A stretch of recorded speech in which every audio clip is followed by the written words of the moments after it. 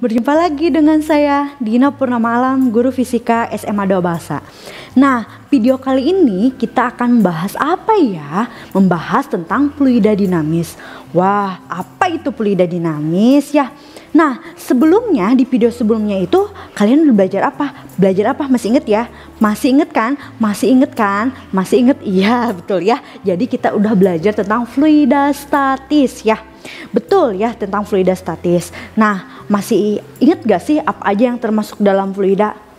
yaitu tentang zat cair dan zat gas. Pokoknya fluida itu zat cair maupun zat gas. Nah, pertemuan sebelumnya atau video sebelumnya itu apa aja sih yang telah dibahas? Masih inget gak? Yang pertama itu tekanan hidrostatis, hukum Pascal, Archimedes ya dan lain sebagainya yang berkaitan tentang fluida statis.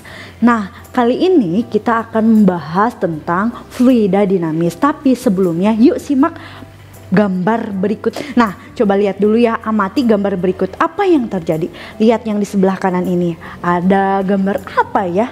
Apakah ini termasuk fluida? Ingat loh, fluida itu zat cair atau zat gas, pokoknya zat yang mengalir. Apakah gambar yang di sebelah kanan ini dia termasuk fluida? Hmm, banjir, banjir itu air ya, berarti air itu termasuk fluida kan? Ya, betul ya. Jadi gambar banjir ini dia juga disebut gambar fluida ya. Bagaimana keadaan fluidanya? Apakah statis? Statis itu diam. Di video sebelumnya, apakah banjir ini diam? Tidak ya, karena banjir ini dia bergerak ya, bergerak. Maka fluida ini atau air banjir ini dia bergerak atau fluida ini dia bergerak. Maka keadaan si fluidanya nggak diam atau nggak statis, tapi fluidanya itu bergerak ya. Nah, motivasi pembelajaran kita kali ini semoga kita tahu ya gara-gara banjir itu biasanya akibat debit ya. Biasanya debit air yang terlalu besar maka terjadilah banjir ya. Masih ingat ya debit. Dengan kita belajar debit, kalau misalkan debitnya terlalu banyak, berarti akan memungkinkan terjadinya banjir. Nah, solusinya itu seperti apa? Nah, kita belajar ya tentang banjir atau fluida dinamis kali ini. Yuk, simak selanjutnya. Oke, kita perhatikan gambar di sebelah kanan ini ada apa? Ada shower ya, shower buat mandi. Nah, pertanyaannya kalau misalkan si putaran showernya itu diubah, apakah si airnya itu berubah? Berubah gak kira-kira? Hmm, coba coba ya di rumah ya. Terus kira-kira kecepatannya berubah gak? Atau banyaknya air yang keluarnya berubah gak? Kenapa bisa seperti itu? Kenapa si shower itu kalau misalkan diubah si pengaturan uh, kepala si showernya itu dia pancaran airnya jadi berubah. Kenapa? Apakah kecepatannya sama? Apakah debitnya sama? Atau banyaknya air yang keluarnya sama? Atau hal lain apa saja yang mempengaruhi atau perbedaan ketika diputar si showernya ya. Oke, kita lanjut ya. Nah, dari fenomena-fenomena yang tadi yang berkaitan tentang banjir atau shower tadi, kita kali ini kita akan membahas tentang fluida, ya fluida dinamis ya. Namun kali ini kita akan membahas tentang fluida ideal, aliran fluida atau fluida ideal ya, dan yang terakhir itu tentang debit ya. Yuk kita yang pertama kita akan bahas tentang fluida ideal. Nah, fluida ideal sebenarnya di kehidupan yang nyata itu nggak ada yang ideal ya. Jadi yang pertama di fluida dinamis ini kita akan membahas terlebih dahulu yang harus diperhatikan di fluida dinamis itu yang pertama fluida ideal. Fluida ideal itu yang pertama tidak termampatkan, massa jenisnya konstan. Yang kedua itu tidak ada gesekan atau tidak kental ya. Jadi dia walaupun dimasukkan ke dalam bejana, walaupun ada gesekan dianggap dia tidak ada gesekan atau cairannya itu tidak kental. Yang ketiga itu alirannya tenang ya, jadi tidak mengalami turbulen atau misalkan fluidanya dia cair atau zat gasnya tidak acak-acakan ya, ya, tapi dia lurus alirannya tenang. Dan yang terakhir itu kecepatan alirannya itu konstan. Nah itulah fluida yang ideal. Nah, maksudnya kayak gimana sih? Tadi alirannya tidak acak-acakan. Jadi sebenarnya jenis aliran fluida itu ada dua. Yang pertama itu ada aliran laminer yang kedua itu ada yang namanya aliran turbulen. Jadi lihat kalau misalkan aliran aliran laminer itu contohnya itu kayak air keran tuh gambarnya air keran tuh dia kalau misalkan dikeluarkan dia lurus ya si alirannya. Tapi kalau misalkan aliran turbulen itu misalkan di air sungai itu kan banyak-banyak batu ya maka dia mengalami uh, hambatan dan alirannya itu tidak lurus lagi. Nah, di fluida ideal atau fluida dinamis itu jenis aliran yang dipakai itu tidak turbulen tapi alirannya itu laminer ya atau lurus. Seperti apa? Seperti air yang keluar dari keran air ya. Nah itu dia. Nah ngomong-ngomong, jadi fluida dinamis itu apa sih ya? Sebelumnya kita akan membahas tentang fluida statis. Fluida itu kan zat cair atau zat gas yang mengalir. Statis itu diam, artinya kita akan kemar pertemuan kemarin itu atau video sebelumnya itu membahas tentang zat cair atau zat gas yang diam. Tapi kali ini fluida dinamis itu itu membahas tentang apa? Zat cair juga atau zat gas yang mengalir ya.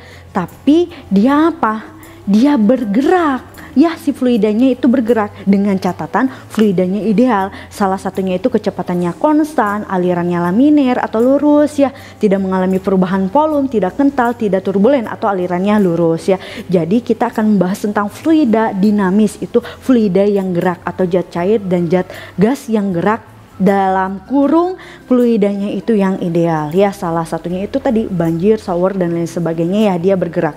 Nggak diam juga ya. Nah kita flashback lagi. Ini kembali lagi ini ada gambar apa? Gambar banjir ya. Kita ketahui banjir itu biasanya air. Air yang bergerak biasanya itu ya biasanya juga apalagi banjir itu pasti hubungannya dengan debit air. Jadi kalau misalkan di berita-berita nih biasanya debit air daerah ini meningkat maka kemungkinan besar akan mengalami banjir ya. Jadi biasanya banjir itu hubungannya debit air. Debit itu apa? Debit itu kayak banyaknya air ya terhadap waktu. Jadi debit itu jadi semakin besar si debitnya maka kemungkinan untuk banjirnya itu semakin besar juga ya. Jadi di fluida dinamis kita akan membahas debit juga Sebenarnya debit itu apa sih? Debit itu merupakan apa? Debit itu merupakan perbandingan antara banyaknya volume terhadap waktu. Jadi ingat banjir, kalau banjir volume airnya semakin banyak terhadap waktu maka tingkat kebanjirannya semakin tinggi. Tapi kalau debitnya berkurang, volumenya berkurang seiring waktu, maka mungkin kemungkinan banjirnya dia akan menyusut ya. Jadi sebenarnya debit itu apa? Debit itu merupakan banyaknya volume terhadap waktu ya di mana Q itu debit ya satuannya meter pangkat 3 per sekon, V itu volume satuannya meter pangkat 3, T itu waktu. Atau debit juga bisa di, bisa diartikan luas penampang dikali kecepatan ya. A itu luas penampang satuannya meter persegi, V itu kecepatan meter per sekon. Tapi kenapa debit itu volume dibagi waktu boleh juga luas penampang kali kecepatan? Oke, kita bahas ya di slide berikutnya. Oke, kita bahas ya. Nah, kita tahu ya kalau misalkan uh, gambar di samping ini ada silinder, ada silinder ya. Silinder ini punya luas penampang, punya luas penampang dan punya ketinggiannya atau jaraknya atau si S ya jaraknya. Jadi kita tahu kalau misalkan debit itu merupakan banyaknya volume terhadap waktu. Kalau misalkan kita anggap si silinder ini itu merupakan tempat atau bejananya air yang mengalir, maka kita ketahui kalau misalkan silinder atau tabung ini volume itu kan luas alas kali tinggi ya. Luas alasnya dianggap A, misalkan tingginya melewati jarak itu misalkan si S ya. Maka kita ganti volumenya luas alas dikali si S. S itu kan tingginya juga boleh sama aja ya dibagi dengan waktu. Kita ketahui kalau jarak dibagi waktu atau tinggi dibagi waktu itu apa kecepatan, maka kita anggap si S bagi T-nya itu V kecepatan. Maka debit itu selain volume dibagi waktu waktu boleh apa? Boleh luas penampang dikali kecepatan ya. A itu apa? Luas penampang satuannya meter persegi. V itu apa? Kecepatan satuannya meter per sekon ya. Tahu ya? Jadi kenapa debit itu boleh volume dibagi waktu atau luas penampang dikali kecepatan. Oke, kita lanjut ya. Nah, itu berkaitan tentang debit. Nah, kita sholat ya. Soal latihan. Nah, boleh dilihat uh, ada silinder juga, ada silinder, terus di dalam silindernya itu ada fluida yang mengalir ingat ya. Jadi silinder ini misalkan dianggap selang ya jadi mengalir debit itu dia harus mengalir terus ya karena kan fluidanya salah satu syaratnya itu harus bergerak. Si fluida yang dalam silinder ini dia punya kecepatan katanya tuh. Air yang mengalir ini punya kecepatan. Kecepatannya berapa? 6 meter per sekon ya. Dalam sebuah pipa dengan diameter 14 mm debit air tersebut adalah jadi yang ditanyakan itu berapakah debitnya? Nah berarti apa yang harus kita lakukan? Berarti yang diketahui itu apa? Kecepatannya berapa 6 meter per sekon. Terus diameternya berapa? 14 mm. Berarti kalau diameternya 14 mm, kita tahu dong jari-jarinya berapa? Jari-jarinya itu setengahnya 7 mm atau diubah ke 6 meter. Jadi berapa? 0,007 meter ya. Diketahuinya debit. Karena yang diketahuinya itu jari-jari dan kecepatan, maka kita ketahui boleh dong debit juga luas penampang dikali kecepatan ya.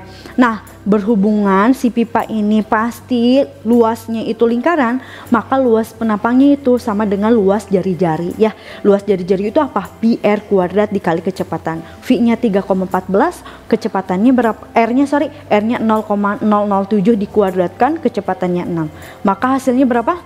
0,00092 meter pangkat 3 per sekon ya. Jadi debitnya sekitaran seperti itu ya. Bisa dilihat yang sebelah kanan.